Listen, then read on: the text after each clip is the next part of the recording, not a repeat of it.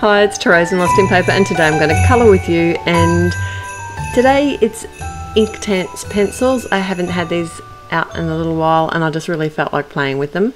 And this is the first time I've used them on the Bristol Smooth cardstock, and it just worked so beautifully. I loved it. And I love the fact that this cardstock is really white. Um, which is very similar to the white that I use on my normal card bases so I don't have to colour the whole front of the piece of watercolor card to kind of cover up the different color whites. It's little things like that that irritate me. Anyway, so I love the fact that it's a very white card stock, even though I did cover up most of this panel. I don't know why I even went into that story. But anyway, okay, so I'm two different ways I use my Inktense pencils. I lay them down on the cardstock, so I actually colour some of the colour onto my cardstock and add a brush that has some water on it. Not usually too much water and not usually too much colour. It's a very intense pigment that comes out of these pencils. It's more like an ink than a paint. The other way I use them is like I'm doing here on her cheeks. I'm actually using my brush directly to the lead pencil. It's not lead, but you know, the pencil colour and picking up the colour and dropping it onto my image.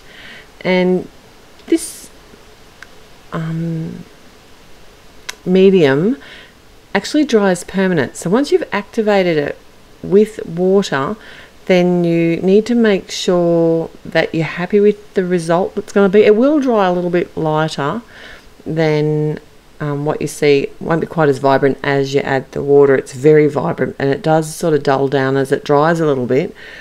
But if you make any mistakes or you you're not really happy, oh, you need to fix it before it dries because you can't reactivate it afterwards.